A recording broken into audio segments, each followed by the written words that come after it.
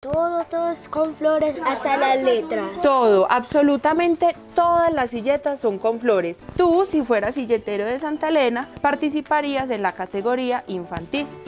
Bueno, vas a probar esta que se llama Conchita y son flores comestibles. Gracias. De una. Me sabe mucho a limón.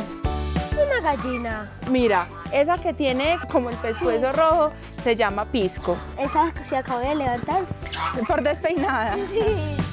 Miren ese cultivo. Y mira que el cultivo hidropónico funciona solo a base de agua y de nutrientes. Y soy chiquitita porque mira este Cristo.